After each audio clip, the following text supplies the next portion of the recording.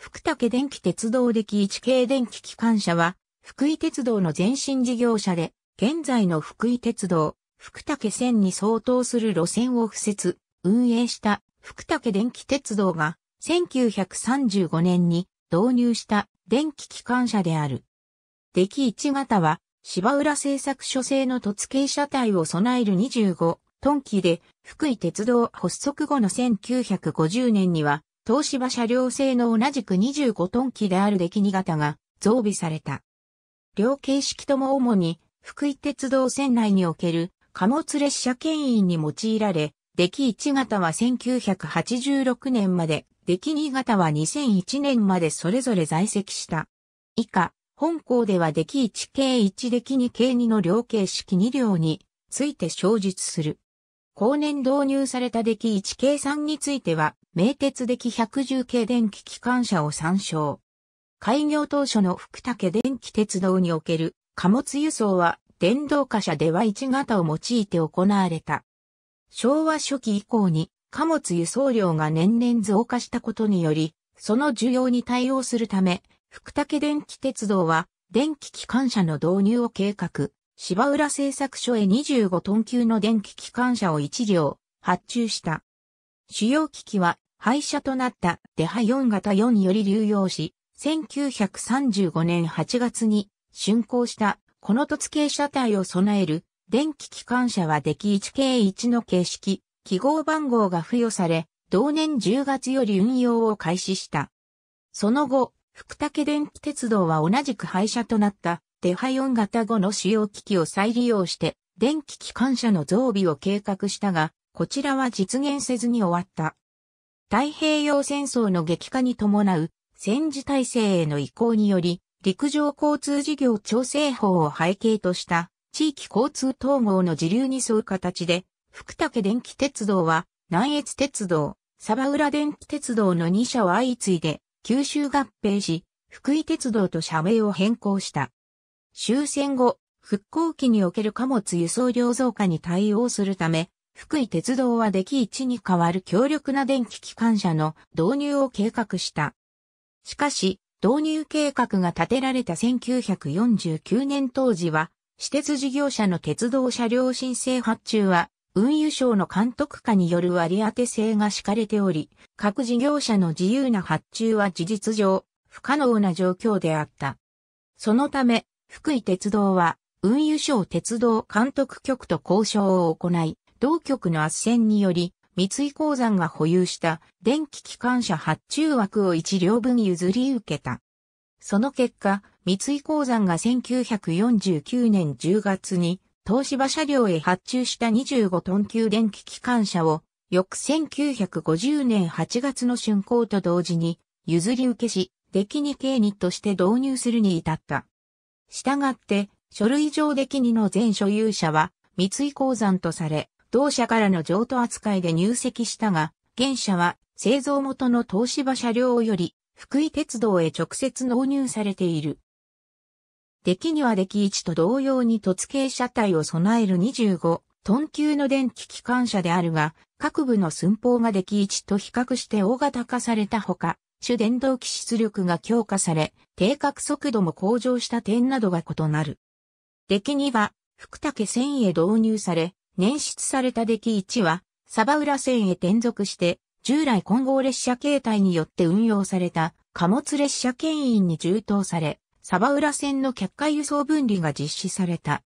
デキ2系にデキ2の側面車番表示板台枠上の中央部へ運転室を、運転室前後に主要機器を格納した機械室をそれぞれ配置した凸形の車体を備える。デキ1デキ2とも全幅は 2645mm で共通するが、全長はデキ1が 8790mm であるのに対してデキ2は 9600mm と 810mm 延長され、台車中心間距離もデキ1の 3600mm に対してデキ2は 300mm 延長した 3900mm と異なる。また、デキ1では大枠橋両部など各部に存在したリベットが、デキニでは、溶接工法の採用により省略されている。運転室及び機械室は工作の簡易化を目的として直線基調で構成され、機械室全部には全計画を設けた。運転室側面には乗務員扉と側窓を一箇所ずつ備え、前後つま面には屋根部を延長する形で短い日差しが設置され、2枚の前面窓をつま面左右に配置する。この前面窓はデキ1が左右寸法の小さい縦長形状であったのに対して、デキ2では左右寸法を拡大して正方形に近い形状に設計変更されている。これらの外観上の特徴は、東芝車両が芝浦製作所当時に設計、製造を開始した産業用電気機関車を原型とするものと指摘され、芝浦製産業用機関車を源流とする、いわゆる東芝戦時標準型電気機関車に区分される規格型電気機関車と共通する特徴を備える。また、デキ1デキ2の外観及び諸寸法は、デキ2と同時期に同じく東芝車両で申請された西武鉄道向け35トン機の51系電気、機関車とも近似する。全消灯は白熱灯式の取り付け型で、前後つま面膜板上部に1灯ずつ、後部標識灯は前後の大枠単量上部に左右1灯ずつそれぞれ設置されている。前述の通り、デキ1が電車の廃車発生品を流用しているのに対して、出来には台車など一部の機器を除いて、東芝製の心臓品を搭載する。また、低角出力、牽引力など性能諸言も両形式で異なる。制御装置は出来1出来2ともゼネラルエレクトリックの原設計による MK 電磁単位スイッチ式関節非自動制御機を採用、自家並列組み合わせ抵抗制御による立候制御を行う。出来1は東芝 SHM-15 直流直巻電動機を採用。1両あたり4機、全軸へ、歯車比4.31にて走化する。1時間定格出力は 43.5kW で、1両あたりの総出力は 174kW と低い。ものの、歯車比を低速寄りに設定することにより、定格引っ張り力 3900kg フォースを確保している。ただしその代償で前回時時定格速度は時速 16.2km に止まり、入れ替え用電気機関車並みの低速特性を有する。一方、出来には、東芝水 -170 直流直巻電動機を採用、1両あたり4機、全軸へ、歯車比4.56にて走化する。1時間定格出力は 74.6kW で、1両あたりの総出力は 298.4kW と強化されている。定格引っ張り力は 3940kg フォースで出来1と大差はないが、前回時時定格速度は時速 28.5km となり、走行性能が改善されている。出来2の装着する TR11 階台車。台車側枠の各軸受け付近には砂箱を備える。台車と台枠の間隔が広く開いており、その空間を利用する形で、台枠下部に元空気ためが設置されている。台車は、鉄道小整式の釣り合い両式台車を装着、デキ1の台車形式は TR10 改めを、デキ2の台車形式は TR11 改めをそれぞれ交渉する。TR10、TR11 とも本来電車用の台車であり、車輪も 860mm 系の電車用、小径車輪を装着する。そのため、デキ1デキ2への装着に際しては心皿部へ、スペーサーを挿入して、車高を確保しており、外観上台枠下端から台車枠上端までの間隔が広く開いている点が特徴である。また、台車側枠部には空転防止に用いる砂を格納する砂箱が設置されている。制動装置は、ゼネラルエレクトリック製の J3 導弁を用いた AVR 自動空気ブレーキを採用、その縦用制動を併設する。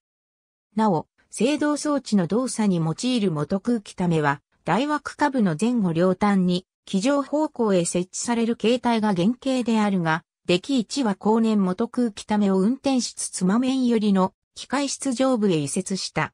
連結機は波形自動連結機を採用。前後の橋両部へ装着し、終電装置は、ひし形パンタグラフを乗務員室の屋根部へ一機、搭載する。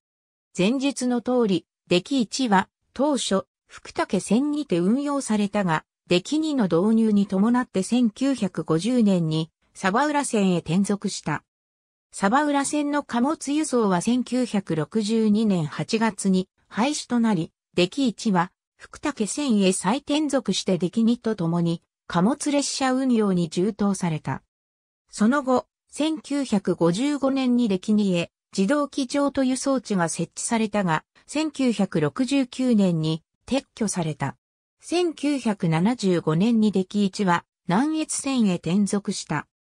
これは南越線にて電気機関車代用として貨物列車牽引に用いられたモハ110系111が同年に自己廃車となったための措置で、以降デキ1は南越線5分市駅に隣接する東洋火星工業、竹尾工場及び福井科学工業竹尾工場を発着する貨物、列車牽引運用に充当された。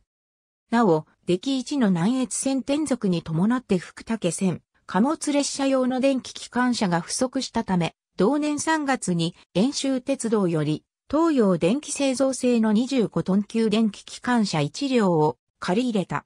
ED213 は同年8月に正式に福井鉄道へ譲渡され、デキ3の記号番号を付与して既存形式のデキ1型へ編入した。南越線は利用客減少により1981年4月1日付で全線廃止となり、デキ1は福武線へ3旅転属した。しかし、転属後は西武線駅に隣接する車両工場構内にて旧車状態に置かれたまま、全く稼働することなく、1986年7月15日付で除籍された。一方、出来には前述した出来3と共に、福武線にて運用され、1984年2月の貨物輸送廃止後は、牽引力の大きさを買われて、救援列車用途及び西部製工場構内の入れ替え作業用途に供された。その後、1998年に出来には、主要機器に不調が生じ、入れ替え機は出来3に変更された。出来には、旧車状態で留置された後、2001年3月31日付で除籍された。出来2の除籍により、福井鉄道が保有した東芝系突系電気機関車2両は全廃となった。福井鉄道的に軽電気機関車に関するカテゴリー。ありがとうございます。